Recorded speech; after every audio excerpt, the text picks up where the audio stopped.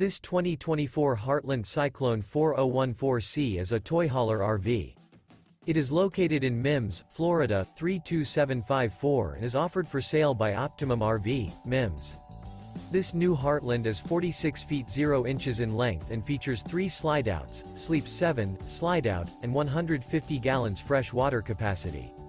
The floor plan layout of this toy hauler features front bedroom, loft, two entry, exit doors, two full baths.